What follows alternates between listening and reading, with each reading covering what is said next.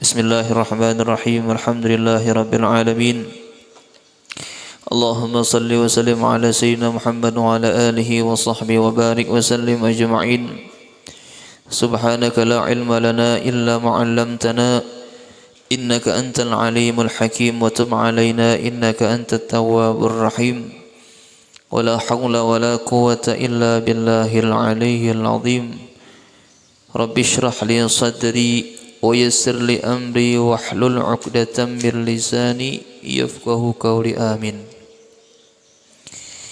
وقال المؤلف رحمه الله تعالى ونفعنا به وبعلومه وبأسراره في الدارين آمين إلى ما قال Sambungan yang minggu kemarin yaitu tentang masalah doa. Doa habis sembahyang, doa di mana pun kita berada, doa ketika kita meminta kepada Allah Subhanahu wa Ta'ala. Kenapa doa ini selalu kita panjatkan kepada Allah? Karena doa ini ad-doa silahul mukminin.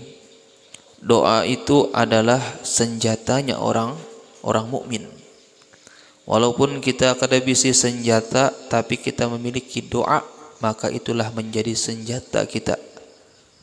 Senjata semuanya entah itu dari rezeki kita, entah itu dari tidak baiknya kita, maka perbanyaklah kita itu berdoa kepada Allah Subhanahu wa taala.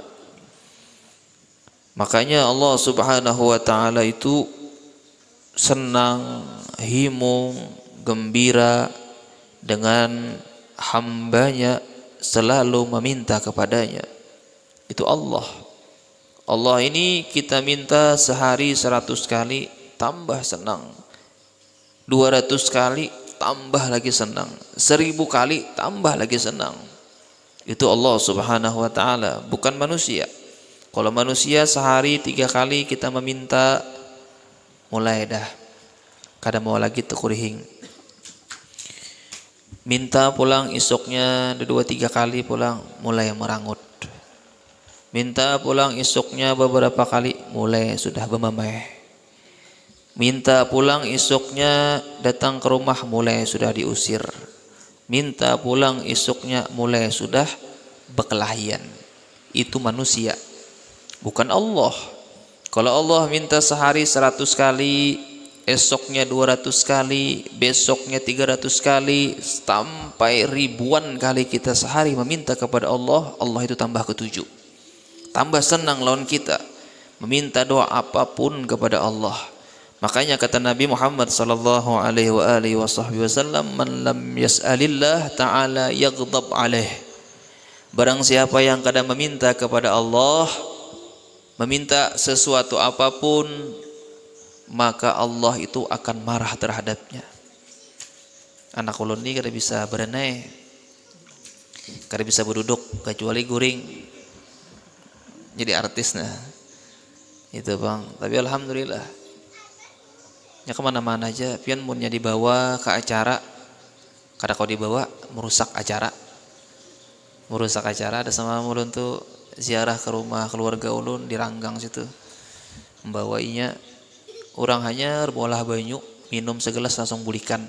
Nah pak sana kemari belaur kalau pindah telanggar motor bener ya masalahnya. Nah jadi ujar Allah subhanahu wa ta'ala dan kata Rasul sallallahu alaihi wasallam di dalam nasihat diniyahnya man lam yas'alillah man lam yas'alillah ta'ala yaghdab alaih Siapa pun yang tidak meminta kepada Allah, maka Allah itu akan marah terhadapnya. Marah. Hari-hari kita meminta minta apa pun kita kepada Allah Subhanahu wa taala. Disebutkan di sini Al Habib Ahmad bin Hasan Al Attas beliau berkata man lam yatlubi syai'an la yu'tahu man lam yatlubi syai'a la yu'tahu Barang siapa yang kadang meminta sesuatu, niscaya inya kada diberi. Arti sesuatu itu umum dari dalam tanah sampai di atas langit. Apa di dalam tanah mungkin bisa perhiasan emas atau itu berlian atau itu tumbuh-tumbuhan meminta kita atau kita dari atas langit. Waktu kita bertanam sekalinya panas harinya minta hujan. Diturunkan oleh Allah Subhanahu wa taala. Jadi minta. Barang siapa yang tidak minta sesuatu kata Allah Kata Al-Habib Ahmad bin Hasan Al-Attas, la yu'tahu kada diberikannya. Berarti kita ini disuruh meminta terus. Entah kita duduk, entah kita waktu berdagang, entah waktu kita bekerja semuanya kita itu disuruh meminta. Apakah kita meminta itu di atas sejadah? Tidak. Waktu kita ingat kepada Allah, kita meminta. Wala tuqda hajatun la sakit. Tidaklah dikabulkan hajat satu hajat bagi orang yang berdiam di rumah berdiam aja. Insya Allah rezeki ada jajar. Itu pang yang ditulis. Tapi kalau di rumah ya Allah berilah ulun rezeki yang halal, panjangkan umur, murahkan rezeki, sehat badan. Kita meminta kepada Allah walaupun kita di rumah kita meminta kepada Allah pasti sudah kita itu dikabulkan. Farfa'u hajatikum ilallah, mintalah hajat kita kepada Allah. Jangan kita itu meminta hajat kepada makhluknya Allah, tersalah. Minta kita kepada Allah sesuatu musibah atau hal rezeki atau hal jodoh atau kesehatan, memintalah kepada Allah. Kembali kita kepada Allah, diberi sakit, Kayak apa caranya kita menanggapi atau keadaan sakit tadi? Apakah kita mengeluh? Tidak. Terima kasih ya Allah engkau beri penyakit.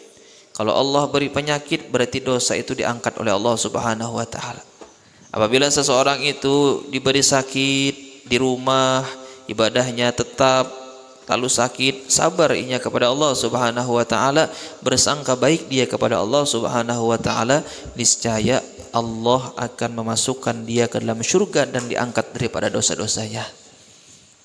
Kadang-kadang kita melihat orang garing, kasihannya lainnya tuh garing ya. Padahal inya karena di akhirat mendapatkan kenikmatan. Sebaliknya kita yang kada garing. Kebanyakan manusia itu ketika garing ingat lawan Allah.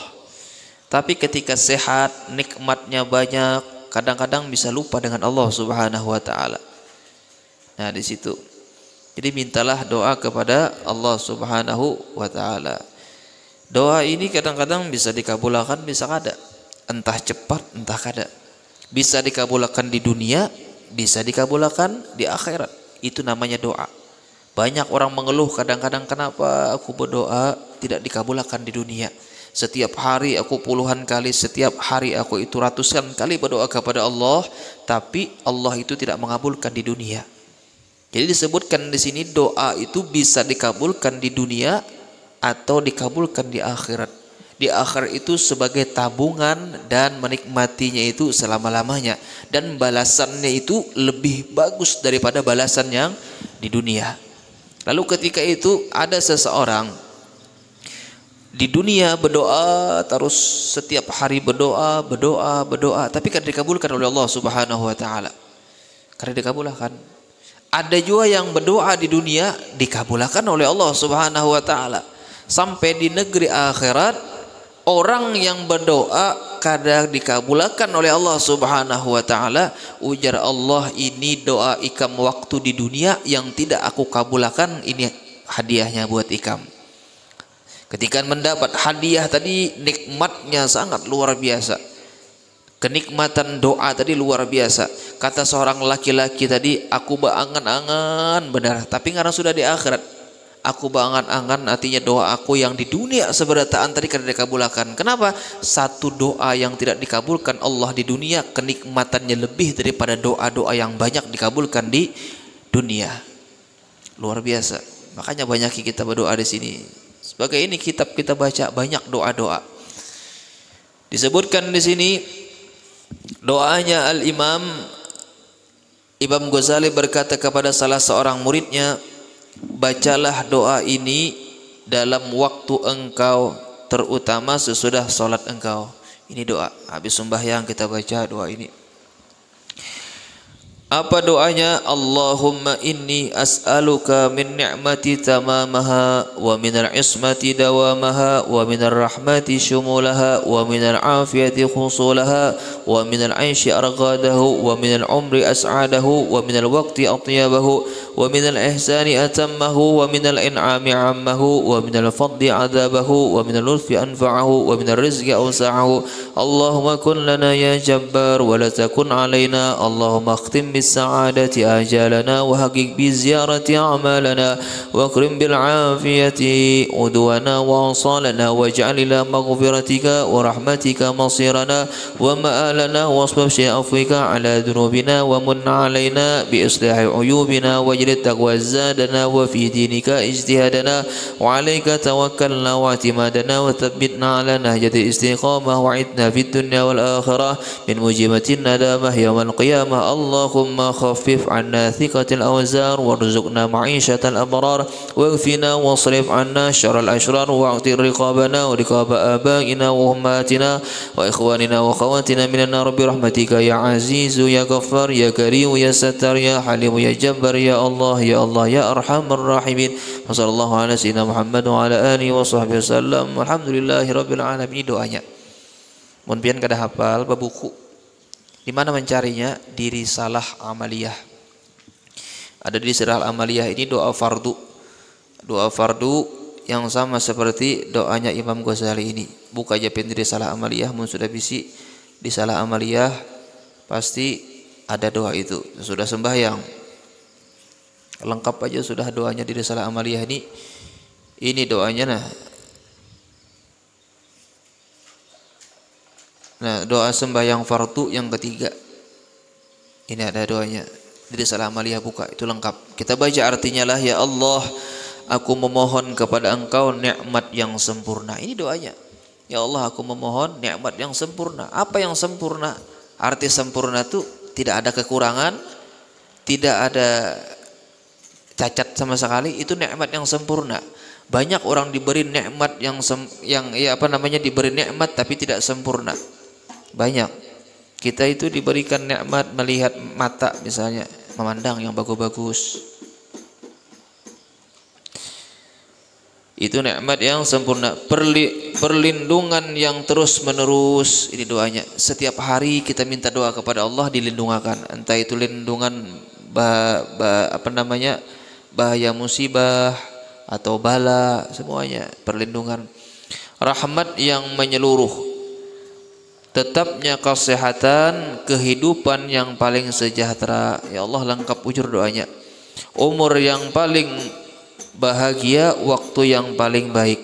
Kebaikan yang paling sempurna, kenikmatan yang paling menyeluruh, karunia yang paling nyaman, kelembutan yang paling berguna dan rezeki yang paling luas. Semua lengkap kita kesehatan, rezeki.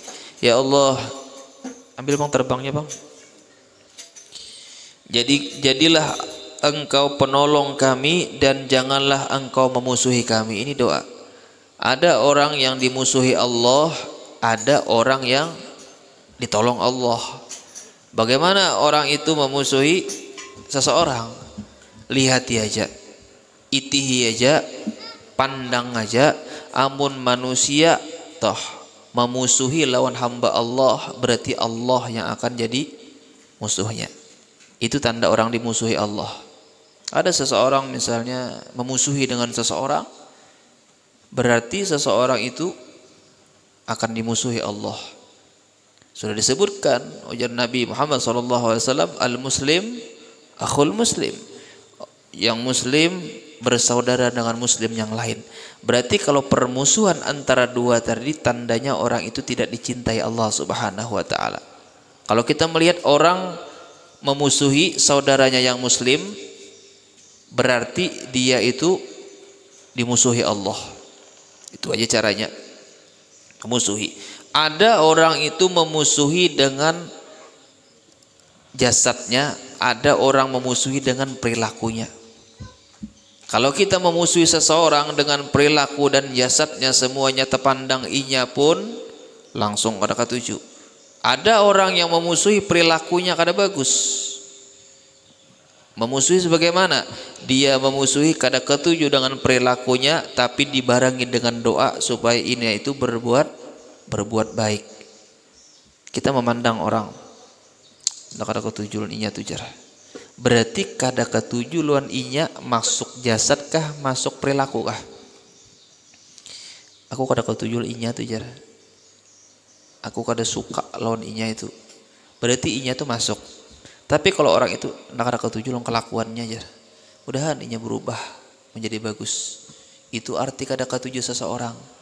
Ada yang kada sing ketujuan jasadnya dan perilakunya.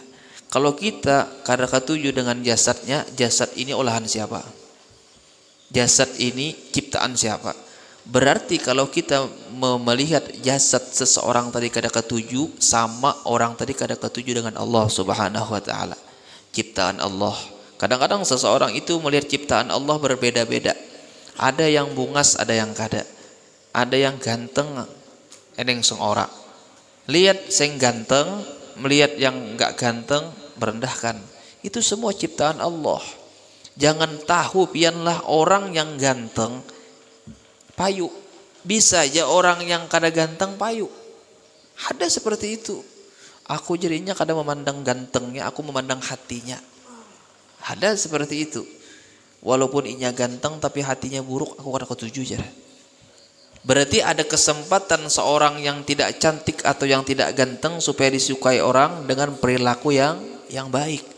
Banyak perempuan, banyak laki-laki yang ganteng, perempuan yang cantik memandang seseorang yang tidak ganteng bukan dari segi dohirnya tapi memandang dari segi perilakunya. Aku tidak mau dengan orang yang terlalu ganteng atau terlalu bungas. Misal, kedahakun mencari yang biasa-biasa aja. Ada seperti itu. Jadi kalau kita eh apa namanya memandang seseorang Jangan memandang ihtikar, memandang merendahkan daripada seseorang. Apabila seseorang itu merendahkan daripada daripada seseorang sama dia itu merendahkan Allah Subhanahu wa taala. Kita ini semua ciptaan Allah Subhanahu wa taala disuruh oleh Allah Subhanahu wa taala berkasih sayangan dengan sesama-sama umat Islam. Berarti kalau orang yang tidak ketujuh dengan inya, aku kata ketujuh lawan inya, berarti tandanya Allah kada ketujuh lawan seseorang itu. Coba pian rasakan hidup di dunia tidak ada permusuhan, tidak ada yang pian kada ketujui, semua orang pian ketujui kira-kira nyaman lah hidup pian. Nyaman. Duduk di sini oke. Okay. Duduk di sana oke. Okay. Parak lawan orang oke. Okay. Kada ada memusuhi orang kada. Orang kada ketujuh lawan kita, kita ketujuh lawan inya. Jangan orang kada ketujuh lawan kita, kita kada ketujuh lawan inya. Akhirnya salah perkelahian. Kada boleh. Ini yang disebutkan di sini daripada apa? Penolong kami dan janganlah engkau musuhi kami doanya. Janganlah Allah memusuhi kita. Mun sudah Allah memusuhi kita hidupnya kada nyaman dan gelisah setiap hari. Bayangkan biar gelisah. Ada orang hidup sederhana. Ya kada terlalu mewah lah makannya ya kayak orang juga nasi baiwak rumahnya sederhana tapi waktu guring guring waktu inya berjalan senang pokoknya hidupnya nyaman. Itu yang kenikmatan yang luar biasa. Banyak orang yang bergelimbangan harta tapi ketika hendak guring kada mau guring kada ada ketenangan makanya pernah menceritakan semalam pula orang yang ada di Jepang kalau ada salah orang yang di luar negeri semua hartanya itu berlimpah. Ujarnya apa pun yang hendak aku beli pasti tercapai. Tapi satu jinya kada kededa yang nikmatnya ketika Allah cabut kenikmatan tidak bisa tidur. Kada kau guring ada yang dua hari kada kau guring, ada yang tiga hari kada guring, ada yang semingguan kada kau guring. Tapi orang ini bukan sehari, dua hari, tiga hari, empat hari, lima hari, bukan seperti itu. Setiap malam kada mau guring siang dan malam, siang dan malam. Bagaimana dicabut satu kenikmatan tidak tidur aja. Lalu dicerita yang semalam itu orang ini dibawa orang Islam dibawa ke masjid, duduk di muka masjid, mendengar orang pengajian, mendengar orang eh apa namanya pembacaan Al-Qur'an. Sudah eh sekalinya waktu di situ teguring orangnya. Teguring. Ini panjang bang ceritanya. Akhirnya orang itu merasakan kenyamanan melihat orang-orang Islam ada pengajian. Makanya pengajian ini biar nyaman anak guring-guring. Anak buhunjur buhunjur, anak teliur teliur. Kada apa-apa. Paling kena muntah guring jangan digarak. Orang hilangan biar sering guring seorangan tidak apa-apa. Ya, kada masalah kita guring. Kenapa? Karena majelis ini tempatnya nikmat kepada Allah Subhanahu wa taala. Tempatnya nikmat. Kita dengarkan doa-doa, kita dengarkan maulid tidur. Ada orang mulai awal majelis teguring. Nikmat sudah. Apalagi mendengar suara yang bagus, kadang-kadang nyaman didengar hati itu tergugah, utang gin hilang. Tapi mbak sampai ke rumah ingat saya pulang utang. Nah jadi supaya Allah tidak memusuhi dengan kita, janganlah kita itu memusuhi dengan hambanya Allah subhanahu wa ta'ala. Itu tanda pertandanya. Dan yang kedua, supaya kita tidak dimusuhi, janganlah kita itu mengerjakan sesuatu yang dilarang oleh Allah Subhanahu wa taala. Apabila kita dilarang oleh Allah Subhanahu wa taala, kita bertobat, meminta ampun, istighfar kepada Allah Subhanahu wa taala. Ini doa tadi, sambungannya ya Allah, akhirilah ajal kami dengan kebahagiaan dan tambahilah amal-amal kami. Di akhir hayat kita diberikan apa namanya ajal yang bagus ini teh eh ada salah seorang jamaah kita yang meninggal. Innalillahi wa inna ilaihi rajiun. Kembali kepada Allah Subhanahu wa taala. Orang Pemalungan. Jadi bercerita anaknya kemarin waktu ulun datang eh ke KNPI kemarin eh beliau itu kada pernah memberatkan dengan anaknya. Kada memberatkan lawan anak ya tulak ke pasar mencari obat semuanya. Dua laki bini. Tulak. Kada pernah hatinya oh nak tolongi pang dato karakan obat. Kada. Tulak sorangannya yang laki jersidin ya sudah tuha. Yang bini sudah tuha. Kada pernah beratakan sidin pakai salon dulu untuk menangis. Sampai-sampai kuitan seperti itu terhadap anaknya. Tapi sebaliknya bagaimana seorang anak terhadap orang tuanya Apakah kita itu membalas? Apakah kita itu berbakti? Orang tua ini sampai-sampai walaupun beliau sakit tidak pernah terucapkan sedikit minta tolong pang kadang-kadang kayak itu. Saking kadang-kadang memberatakannya orang apa namanya lawan anak. Tapi sebaliknya kalau anak terutama ulun pang lah banyak memberatakan kuitan. Banyak memberatakan kuitan. Makanya kadang-kadang minta ridho elon kuitan nyakawa pang kalau kita dulu waktu kan anak dibasuhi kuitan kotoran kita. Tapi kalau sudah kuitan, karena kalau lagi bergerak diranjang, sudikah tangan kita untuk membasuh kotoran orang tua kita? Bisi anak 10, 11. Takun yang 11 itu paling seikung yang terbuka untuk membasuhi kotorannya terhadap kuitannya. Itu yang 11. 11 itu kan kadang-kadang bisa banyak yang mundur. Kita cariakan pembantu kan degasan membasuh kuitan. La ilaha illallah. Ini seorang ibu. Jadi sering kas ceritanya beliau berdua ini rajin banget ke majelis ta'lim berangkat ke sana berangkat ke situ. Biasanya sering hadir ini. Lu kada ingat ngaran sidin tuh siapa yang laki sidin tuh? Orang pemalungan siapa yang meninggal tadi? Laki sidin siapa ngarannya? Ahmad ini Oke sini malaman Kamis rasanya ulun tetamu di bawah itu melangi di sanak sidin. Anak basuntik malamnya meninggal dunia. Tapi alhamdulillah pas bujur hari Jumat pulang. Dengan berkat apa? Dengan berkat orang rajin ke majelis, tulak ke mana-mana dan berbuat baik. Meninggalnya itu sore pas hari Kamis sore masuk tuh hari Jumat.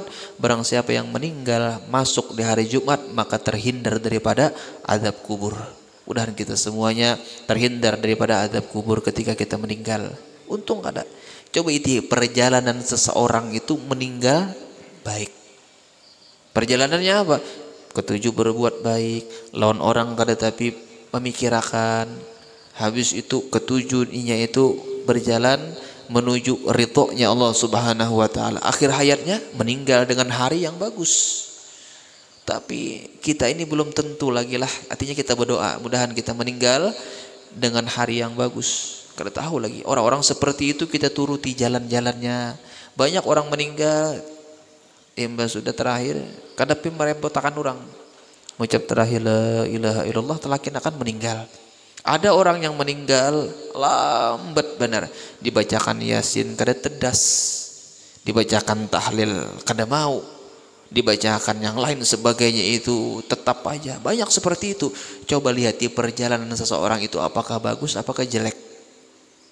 Apakah bagus, apakah jelek. Apabila perjalanannya bagus, pasti meninggalnya bagus. Itu sudah pasti. Tapi kalau perjalanan jelek, pasti orang itu meninggalnya jelek juga. Apabila inya jelek perjalanan tapi di akhir hayatnya inya bertobat kepada Allah, meminta ridho terhadap orang yang inya salih, pasti dia bagus. Yang kita kutani, kita ini berbuat jelek dari awal sampai meninggal karena tahu meninggal apabila kita tahu kita meninggal. Apakah meninggalnya itu dengan eh garing? Kalau garing meninggal nyaman sedikit, Beingat lah nyawa nangnya beingat nangnya sudah nyoni garing sudah istighfar nangnya nyaman. Tapi mun rahatan bakandaraan bang, tang bakandaraan rabah kepala ini misalnya tahan top semen meninggal. Nah apalagi yang dipikirkan ini rahatan tuntung begawi kejelekan ini. Karena tahu makanya ajal kita itu tidak bisa kita ketahui. Karena bisa.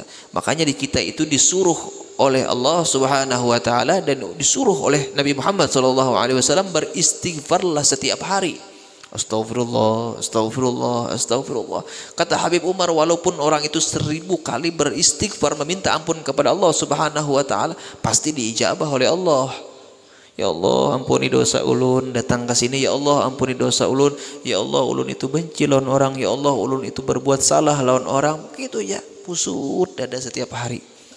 Kalau orang merajinkan istighfar, berbanyak minta ampun kepada Allah, pasti sudah meninggalnya itu bagus. Yang kita cari itu bukan awal kehidupan, tapi kita cari akhir kehidupan. Apakah orang itu meninggal dalam keadaan husnul khatimah atau meninggal dalam keadaan suul khatimah?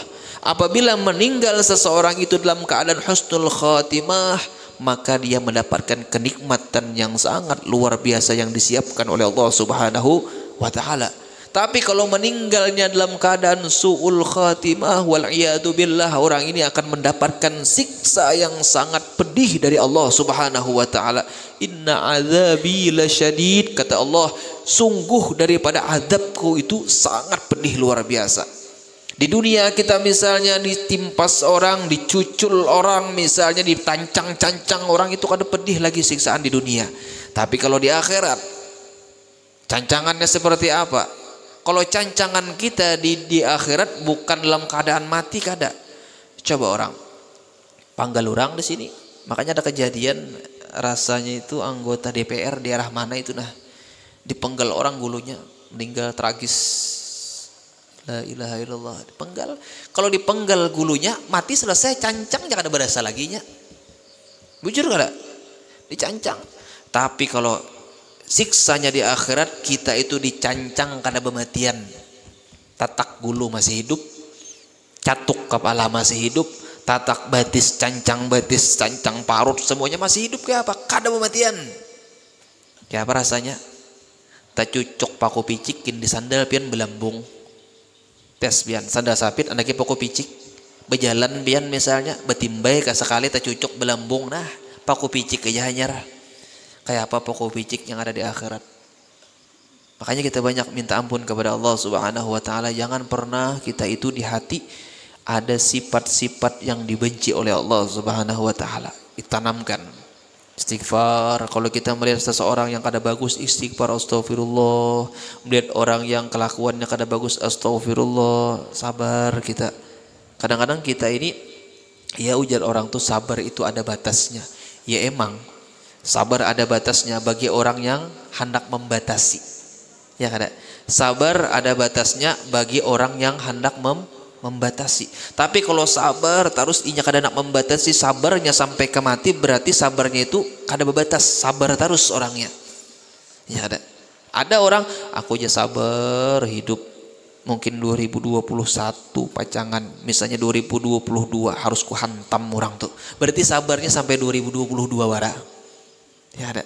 Tapi kalau sabar kita ya Allah berilah kesabaran ulun berilah kesabaran sampai ulun meninggal sabar terus. Innallaha ma'a sabirin. Sesungguhnya Allah itu bersama orang-orang yang sabar. Berarti kalau kita selalu sabar berarti kita itu bersama Allah Subhanahu wa taala. Mudahan kita semuanya diberikan oleh Allah Subhanahu wa taala kesabaran amin ya rabbal alamin.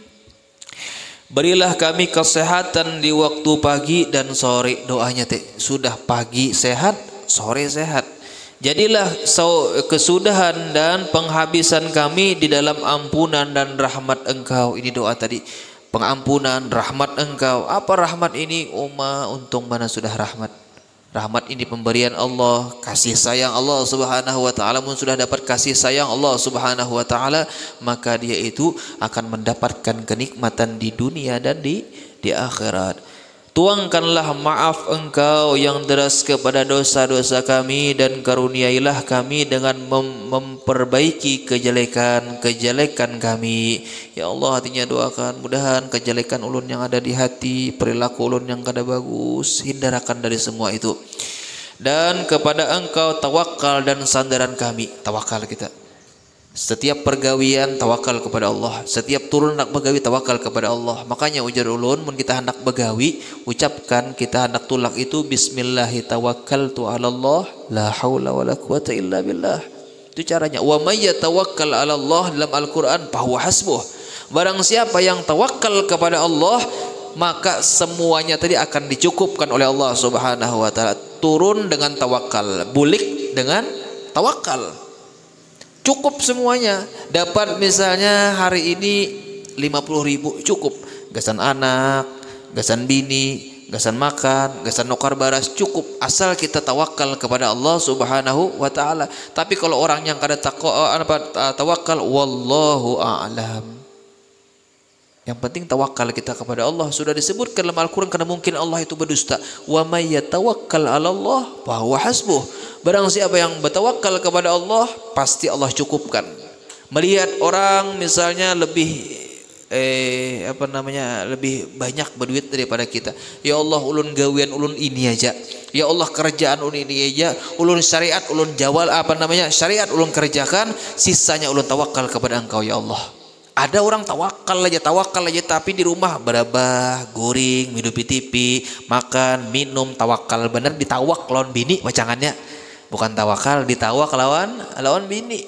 Mun orang dasar bujur tawakal kepada Allah pasti kita itu mengerjakan sesuatu dulu. Bekerja menuri bingung kambing bingung sapi mendodo sawit apalagi gawean seperti kita ini. Betokar ini betokar itu semuanya. Tawakal sudah kepada Allah. Syariat kita jalankan hanya kembali kepada Allah. Banyak orang kayak tawakal tawakal tawakal tawakal aja biar guring di rumah pagi goreng jam 12 bangun misalnya duhur bangun makan-makan goreng kurang udah tawakal aja lon Tuhan ya. Insya Allah rezeki ada ya tawakal apa dihamput bini iya di rumah ditawak bini. Itu orang tawakal bujur nah tawakal pian nantinya jar betu tak kepala. Luput gitu. Tawakal bagawi kita umpat urang kah? Jangan pernah jangan pernah supan dengan gawian. Makanya ada kawan ulun semalam kawin waktu ulun di jilatan alur kawin. Ya kawin tuh ya nengaran lakinya nih takawan lulun waktu Darussalam ini bagi saya sedikit waktu Darussalam eh ceritanya nih membuat geram juga nih. Awalnya itu kulun sekos loninya sekos terkumpulan rami pangaran Darussalam ini. Nokar ulun pemanas. Pemanas ada yang membawa pemanas ada yang membawa baras. Ulun bawa pemanasnya aja bawa pemanas jalur nak pemasak di pemanas aja di nyaman kita. Sudah ya. Pemasak mbah pemasak. Habis itu eh makanan bagiannya ulun tedudi. Tedudi parut lapar. Mbah dibuka apa nah? Maaf anda belum beruntung jar oh mah culun ini. Pemanas pemanas seorang. Embah membuka pemanas tulisannya maaf Anda belum beruntung. Ya apa Bian? Maaf Anda belum beruntung. Untung kan ada orang logo lontar tapak di dalam di dalam pemanas. Ada kalau kejadian di dalam tetudung logo lontar tapaknya gawian men logo ya sampai subuh begawi kada lagi. Tetapak logo eh. Jadi kawin semalam ini cerita sedikit. Malu luar biasa perjuangannya itu. Waktu itu eh kawin ulun datang uh, jar abahnya ikam ada kehubungan kalau anak aku jar ujar si abahnya inggi ada hubungan jangan dihubungi lagi anak aku. Jangan dihubungi lagi. Artinya berpacaran jangan dipacari lagi anak aku. Sudah ikam berjauh. Wah iya empat jangan aja si kawan nih. Kalau disetujui ini nih. Sudah yang biniannya kuliah yang lakiannya begawi begawi apa pun gawiannya barang aja yang penting begawi. Sudah 10 tahun sampai S1 sampai jadi perawat.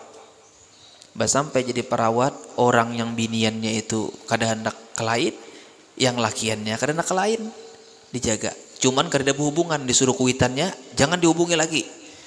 Tapi kalau orang kecil hati pasti mencari yang lain. Bah biniannya kada sikung aja banyak lagi yang lain. Kada sama-sama menunggu. Sudah lulus kuliah begawi di asam-asam datang kuitannya. Sini kam ke rumah aku empat batakun bang. Semasa aku menyuruh ikam karena menghubungi anak aku tuh dasar bujur lagi. Ikam pada menghubungi gak ada sama sekali jar. Ulun lepas kontak sama sekali. Pian menyuruh. Ikam itu madangi anak aku berapa tahun gerang? Mun ulun hitung-hitung parak pang 10 tahun jar. Ya apa pian. Ini ngaran cinta bujur ini. Mun sudah cinta melekat tahi kucing rasa coklat. Eh ngaran cinta tapi kalau sudah disakitinya coklat rasa tahi kucing.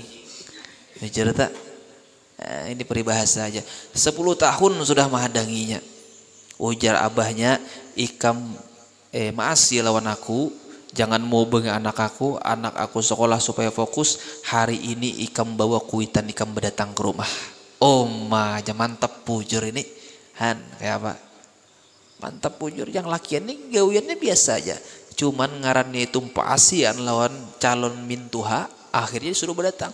Suruh berdatang kawinan yang bini PNS, yang laki barangnya begawian apakah? Kayak apa? Kadang-kadang orang itu bah biaram sudah jarak kuitannya kadang mau mau bungi kau aja kah kena aja. Tapi nya dasar bujur lepas kontak. Akhirnya yang lakian tadi kadang mencari binian yang lain yang binian kadang mencari yang laki akhirnya ujar kuitan han mun jodoh kada ke mana kalau nya ada pang manusia ini jodoh lawan tunggul kadada kadada tapi kalau bujang tuha banyak jodoh lawan tunggul kadada tapi kalau bujang tuha banyak jadi jangan mikir akan masalah jodoh. Kita berdoa kepada Allah, ya Allah berilah jodoh yang terbaik kepada kita. Apabila jodoh itu kada bagus kesan kita, jauhkan. Apabila jodoh itu bagus dengan kita, parakakan dan berkahi dan berilah kasih sayang dan carilah apa? Ngantuk ah. Masalah jodoh ti kameramen nih. Hendak dicari akan bebinian kada mau. Kena aja dulu jar. Kena aja dulu jar. Mun sudah kena tuh kena aja dulu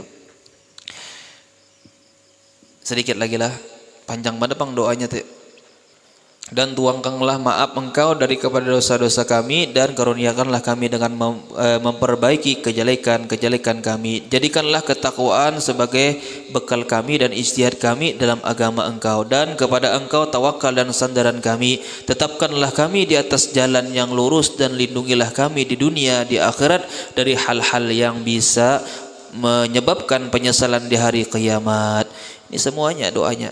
Kada tuntung bacakan panjang mana. Doanya ini lengkap luar biasa. Insya Allah eh, Sabtu karena kita guru Mahmudi lah bulanan. Terserah aja bang. Eh, munnya hendak eh apa namanya membawa roti silakan. Yang eh me, menyisihkan sebagian daripada hartanya untuk bersedekah terserah membawa roti kah. Karena ulun di rumah sini mulakan kopinya. Insya Allah bulan eh eh, majelis bulanan hari Sabtu yang akan datang Ustadz Nur Mahmudi karena itu kan awal bulan